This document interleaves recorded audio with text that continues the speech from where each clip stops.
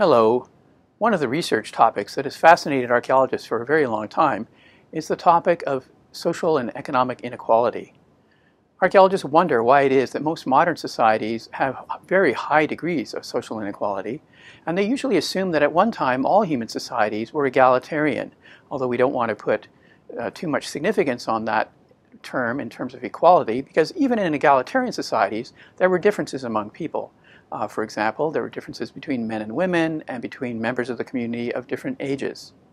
But at some point in human history, well, I shouldn't even say some point, probably at lots of different points in human history, some societies began to choose different paths and uh, acquired some degree of what archaeologists sometimes call social complexity. But what this complexity really involves is not simply uh, an increase in sort of the number of roles in society or anything like that, although that's part of it, but it has a significant component of some people being better off than others in society, having greater access to food and other resources, for example, or greater access to power. So in today's video, I'd like to explore some of those themes.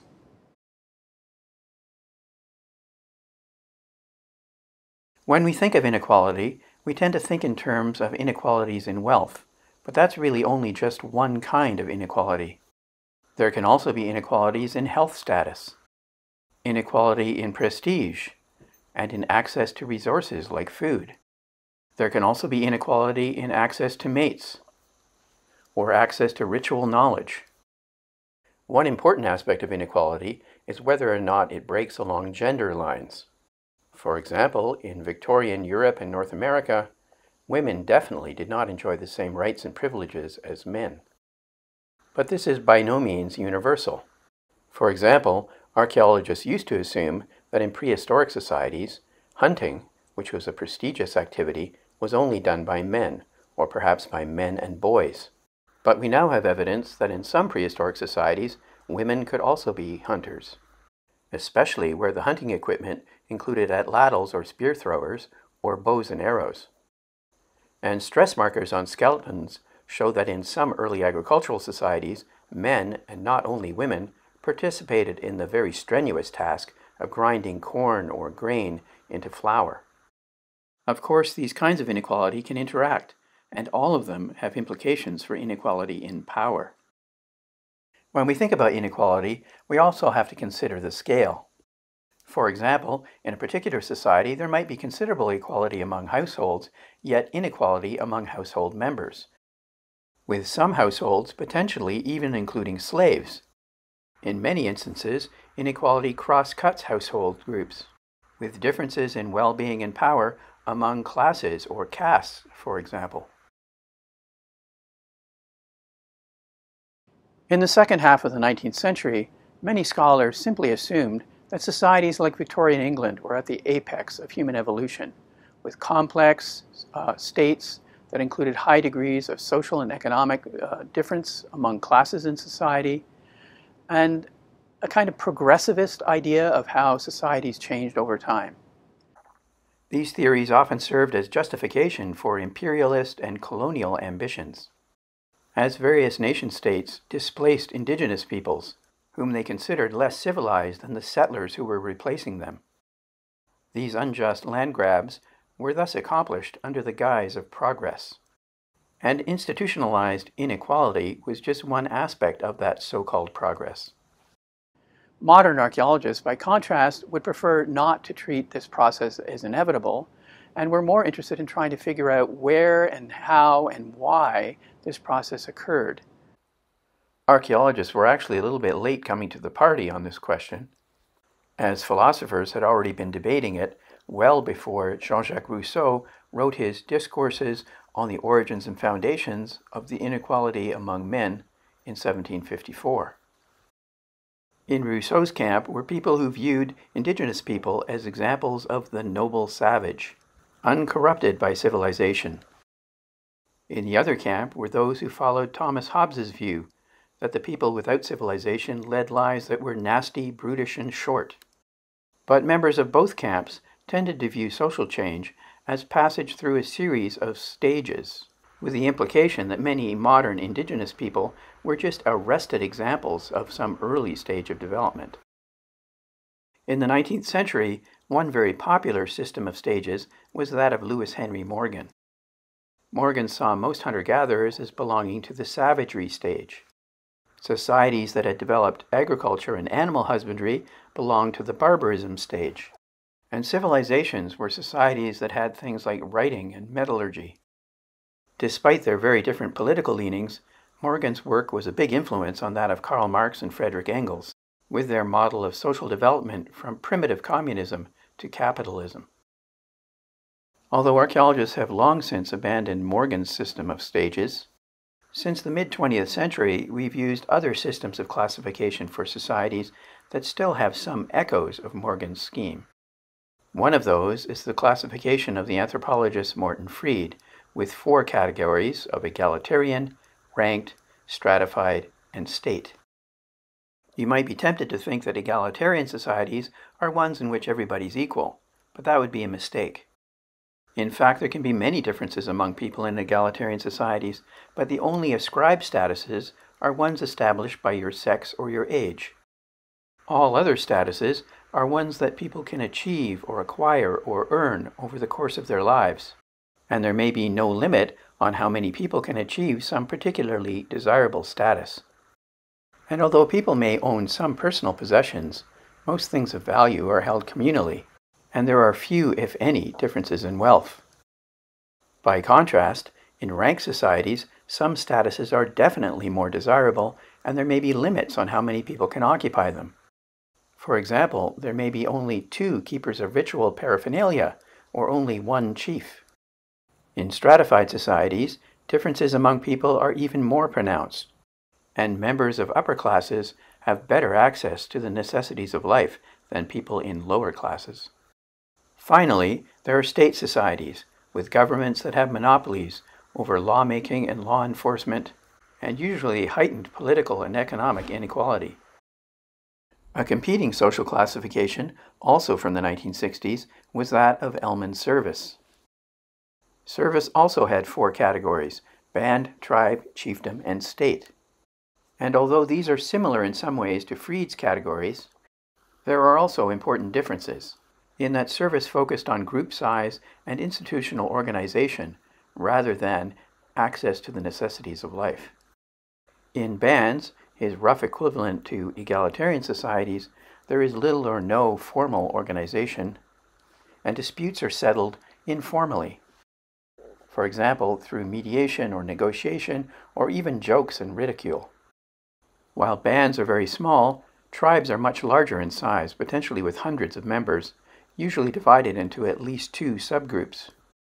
Tribes also have more formal mechanisms for dispute resolution, and may have a small group of leaders or a headman who resolve such disputes and also make communal decisions for the community. But typically, these are not hereditary positions. The next two categories are more relevant to our topic of inequality because they both include a significant component of redistribution. For example, in a chiefdom, the chief collects food and other resources from members of the community and then redistributes it. In principle, this can be an equitable redistribution so that no one in the community goes hungry. But it also creates the potential for the chief, his family, and close supporters to keep a larger proportion of goods for themselves than they dole out to the rest of the community.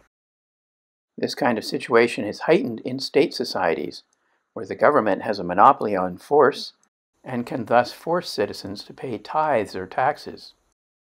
While a portion of these taxes can be used for public works and distribution to the poor, a large proportion can go to enrich the elites who are closely associated with the government. For this reason, archaeologists are often interested in any evidence for redistribution. One fairly recent book has pushed back against these stage like models.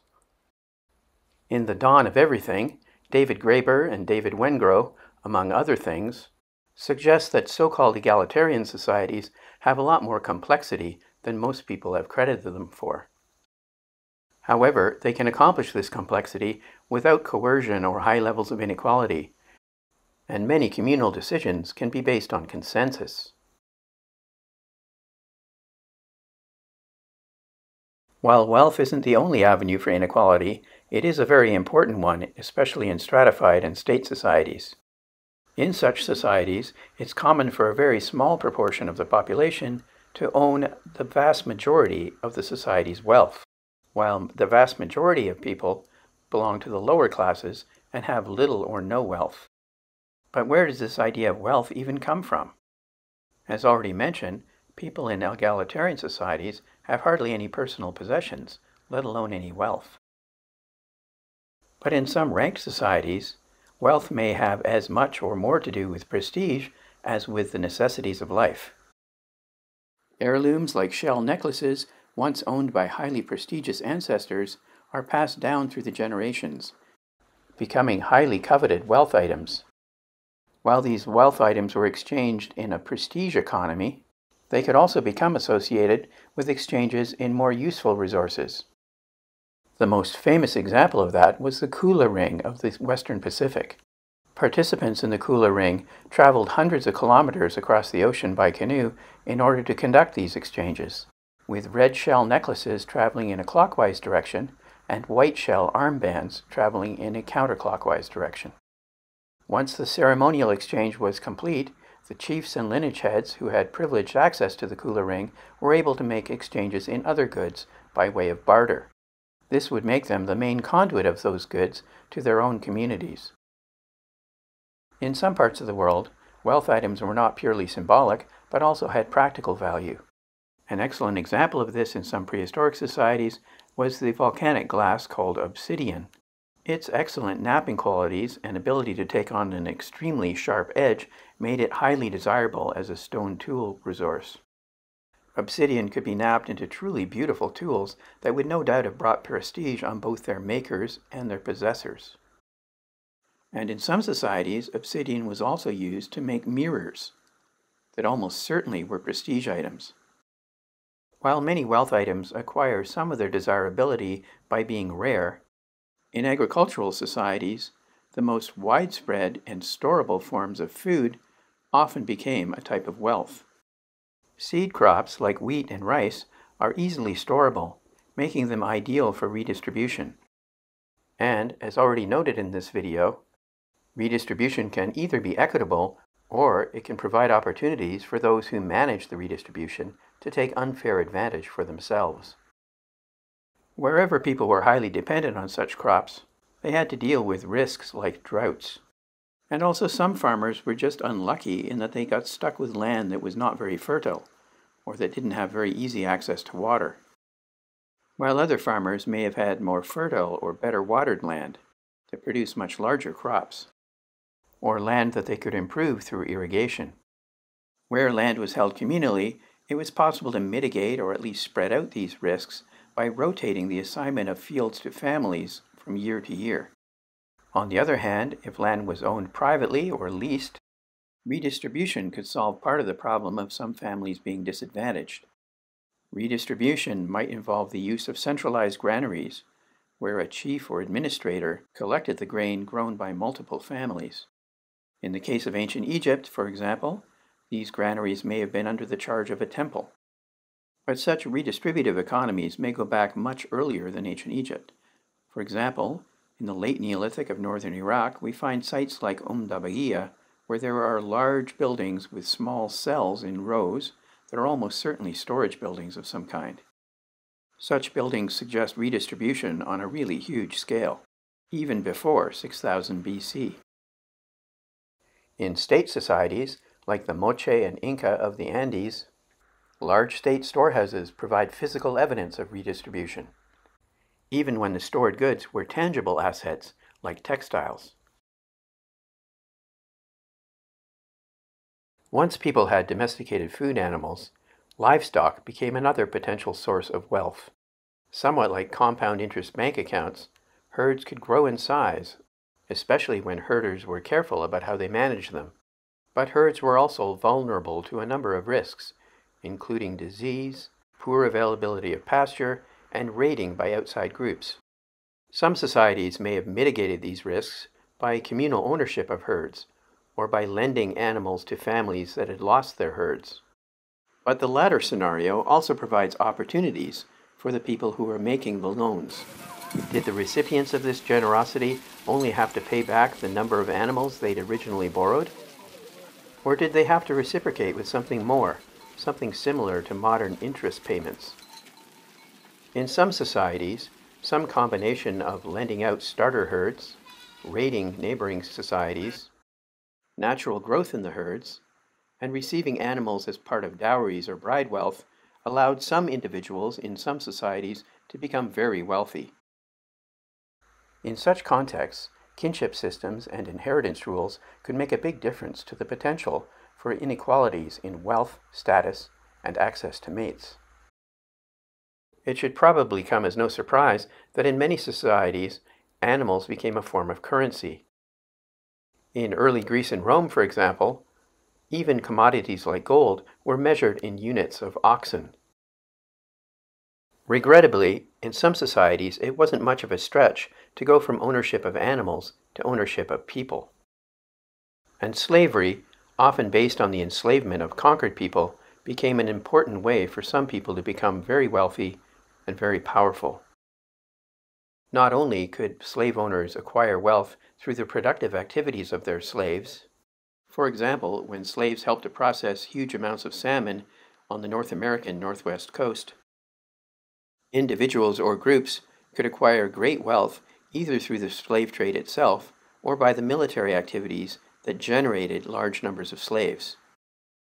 For example, acquisition of great wealth, both for the benefit of the state and for the benefit of individual senators, was one of the incentives for ancient Rome's many wars. Roman senators were expected to be millionaires, and commanding an army that was likely to take lots of booty was one of the ways that they could maintain this wealth. As just one example, Julius Caesar's campaigns in Gaul allowed him to accumulate enormous sums. It's estimated that, while in Gaul, Caesar's armies captured about 500,000 slaves. In fact, they captured so many that there was a decrease in the price of slaves in Rome, possibly pushing the price as low as 16 sestertii per person. Even at that low price, it would have yielded 8 million sestertii. And although the income from selling the slaves was shared among the state and the entire army, Caesar's share would have been the largest one. Partly as a result of these campaigns, at his death, Caesar's net worth was around 400 million sestertii, roughly equivalent to $1.6 billion. Needless to say, any society that has slavery has among the worst social inequality. Whether it was in ancient Rome or in the New World during the 17th, 18th, and 19th centuries, there's no way to sugarcoat the fact that enslaved people had little to no power relative to their enslavers. Many societies that had wealth in the form of agricultural surplus or livestock or slaves eventually hit on precious metals as the premier standard of value and a major form of wealth. Metals like copper, silver, and gold were easy to measure by their weight. And they don't decay away as could stores of grain or be vulnerable to disease like livestock. And because some of these metals, especially gold, were extremely valuable relative to their weight, much more valuable even than oxen, you could carry, conceal, or store a very large amount of wealth in a relatively small space.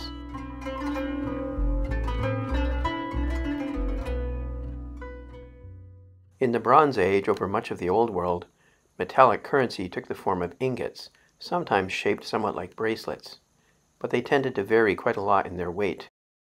In the first millennium BC, communities in Anatolia and Greece began to strike small discs of gold or silver with designs what made these little disc coins was that they were struck and issued by states. And while these coins may have facilitated trade, the monopoly that the state had over the production of coinage essentially allowed them to tax wealth. For every coin the state made, it kept back a small percentage of the gold or silver that it contained. The court of the Persian Empire was also pretty quick to adopt coinage, and later coin based economies spread through the Roman Empire and beyond. Eastern Asia began to make coinage at roughly the same time as the Mediterranean region, but in a very different tradition. For one thing, rather than silver and gold, right from the start, most of their coins were made of bronze or copper. And after a few centuries of experimenting with coins shaped like agricultural tools, China soon settled on round coins cast in molds with a central hole. These coins were individually of extremely low value, so the hole facilitated stringing them together in groups of thousands. Even before the advent of paper money, not all wealth took the form of metals, however.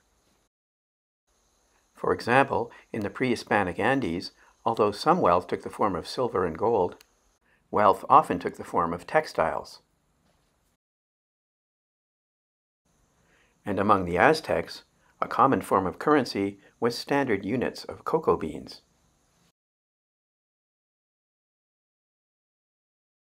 Differences among skeletons in the incidence of various pathologies that leave traces on the bones can be a source of information about health inequalities.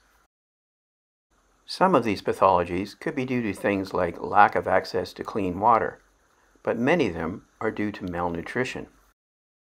For example, when growing children experience periods of nutritional stress, they may develop Harris lines in their long bones. And if Harris lines occur in children associated with some households, but not in others, that would suggest that some families had much better access to food than did others. A similar source of evidence for potential childhood malnutrition is enamel hypoplasia. This is a dental defect that leaves lines on the teeth that can be caused by malnutrition, such as vitamin D deficiency. Differences in dental health more generally can also be revealing, particularly because eating soft or sugary foods can lead to higher incidences of dental caries. Another common type of paleopathology involves porous lesions on the roofs of the eye sockets, called cribra orbitalia. It has long been thought that this and a similar pathology called porotic hyperostosis were caused by iron deficiencies. For example, from not having enough red meat in one's diet. Some recent research sheds doubt on this anemia hypothesis. However, whatever the proximate causes of these conditions, stark differences in their incidence in a population would nonetheless indicate inequalities in health. However, we should be careful about associating health with high status or wealth. After all, in some societies, high status people will have access to foods that aren't actually very good for them. And their privileged access to foods could lead to obesity or diabetes.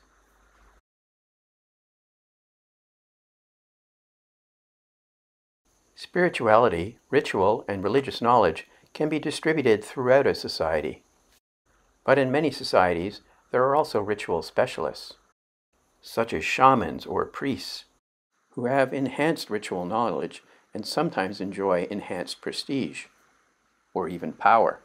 At the other end of the spectrum, there can also be religious specialists who are treated almost as outcasts. Being segregated from society at least some times of the year, and sometimes even having to beg for their food. It's not necessarily easy for us to identify this kind of inequality on the basis of archaeological evidence alone. However, Archaeologists do sometimes find burials with such unusual grave goods as to suggest that the interred person was some kind of religious specialist.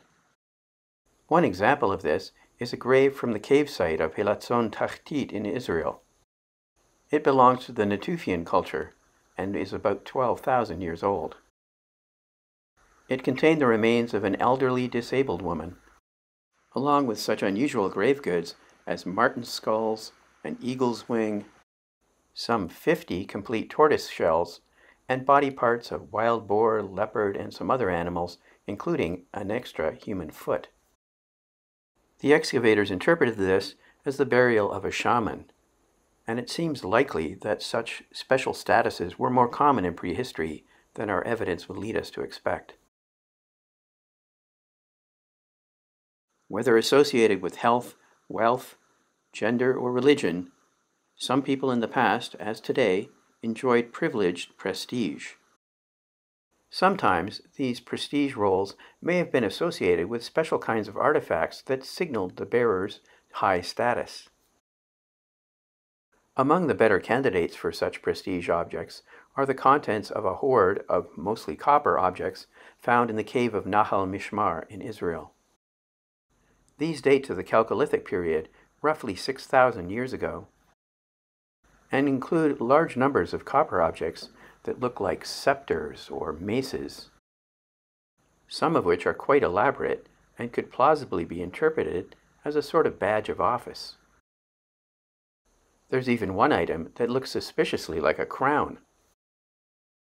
Spectacular mortuary remains can provide evidence for stark differences in both prestige and wealth.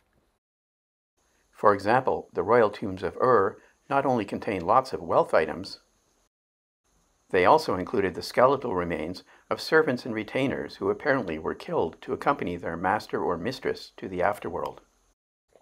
And the tomb of the Chinese Emperor Qin Shi Huang contained an entire army of life-size terracotta statues. This was a gesture of respect far in excess of anything accorded to people of less prestige than the emperor. But aside from these highly anomalous examples, it may not be obvious how we identify differences in wealth or prestige in antiquity. One avenue that archaeologists have attempted is to look for differences in the size or elaboration of houses, with the idea that wealthy or high status households would have more luxurious residences. Where there are sufficient archaeological exposures, another is to look for differences among houses in either the volume of storage facilities or the frequency of high status or high value items, such as metal or obsidian. But one of the more common approaches is to examine cemetery data for differences among graves in the number or kind of valuable grave goods. Whatever basis we want to use to assess inequality in ancient societies, we need some way to measure it. One possibility is to use what's called a Lorenz curve.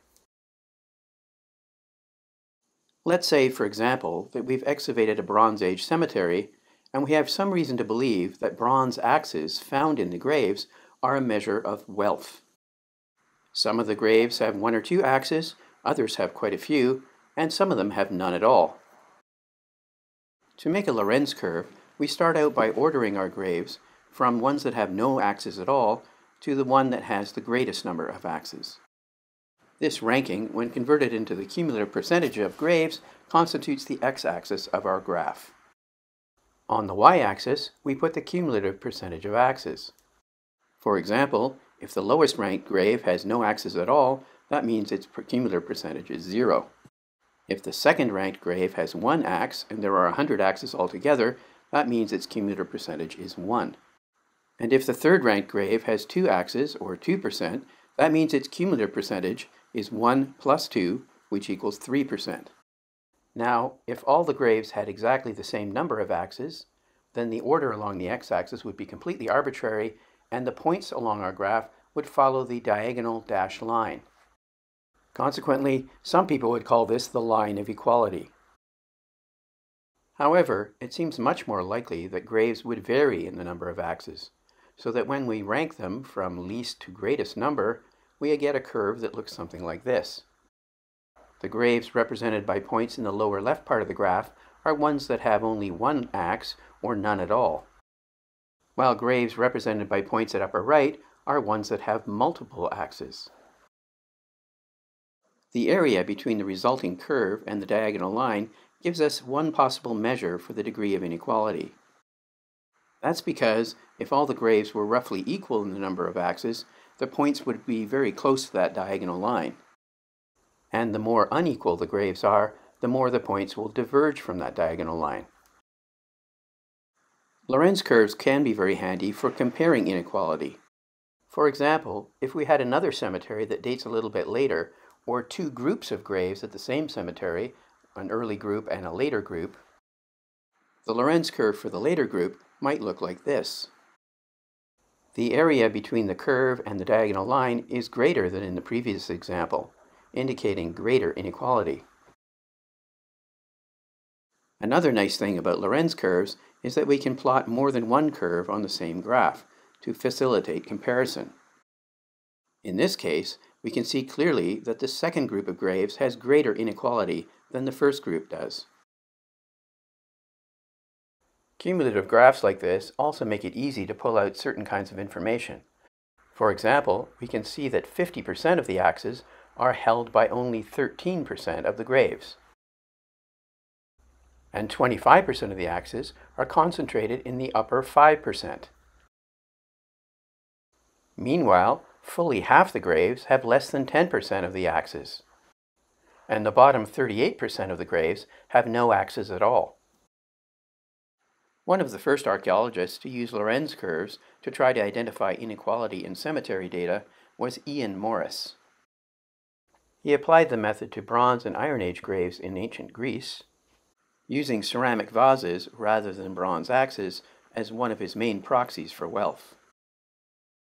We could also use Lorenz curves to analyze other sources of evidence for inequality. For example, if we assume that wealthier households will tend to have larger houses, we can rank houses across the x-axis from smallest to largest and put cumulative house area on the y-axis.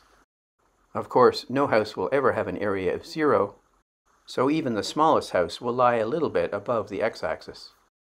In this case, the curve rises gradually at first because all of the smallish houses tend to be roughly the same size. But it rises quite steeply at upper right because the largest few houses are unusually large. While Lorenz curves can be useful for archaeologists, they're not the be-all and end-all. For starters, whether we're looking for inequality in wealth or some other thing, we have to ask ourselves whether or not the proxies we're using, bronze axes or something else, are actually measuring what we think they're measuring. In other words, whether or not they're valid. As with most archaeological cases, we also have to worry about whether or not we have an adequate sample of the graves in order to make generalizations about inequality in whole cemeteries. Furthermore, there can be more than one kind of grave good in the graves. For example, instead of just bronze axes, the grave goods could also include various kinds of jewelry and perhaps ceramic vessels. This kind of mixture of different kinds of grave goods, whose relative values are unknown to us, was one of the problems that Ian Morris faced. And when we apply this to burials, we also have to question our assumptions about ancient mortuary practices. We should keep in mind that funerals have at least as much to do with the living as with the dead.